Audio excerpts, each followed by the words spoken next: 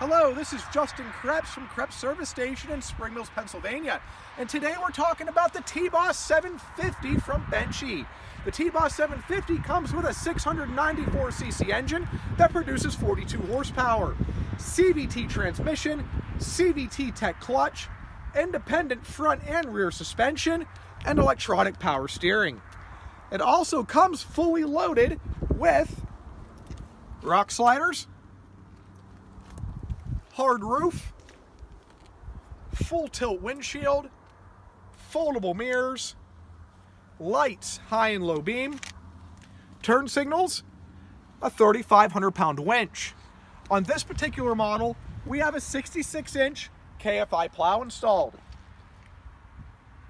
And to the back, tailgate, dump bed, adjustable shocks, and a rear receiver. In the cab, we've got bench seating, foldable center console, an armrest with cup holders, glove box with remote winch control, grab handle for your passenger, wired in winch switch,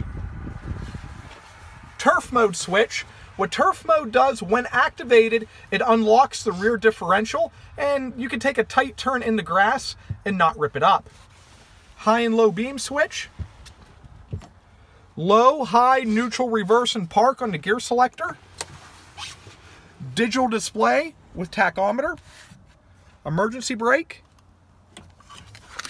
four-wheel drive, two-wheel drive switch, and a front differential locker.